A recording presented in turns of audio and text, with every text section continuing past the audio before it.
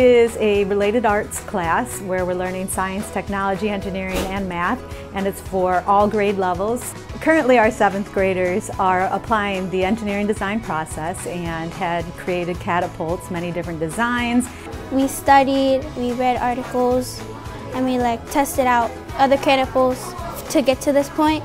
It's really fun working as a team because you get to make like different ones and like communicate and like spend time with people and like learning each other's skills. The eighth graders are working with our VEX IQ robots. Earlier in the school year we took some time to use coding and now they actually built the robot, designed a basic bot, and then from there they designed their own battle bot.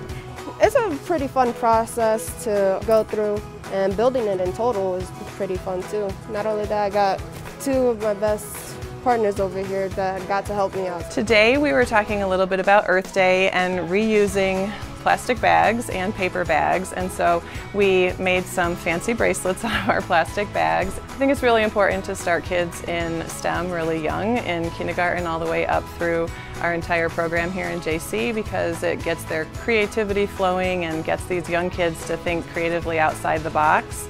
There is a larger room where they can take and extend their learning in science and math and technology while learning for the first time, in many cases, engineering skills, careers that are available, and realizing that there is a world of possibilities out there.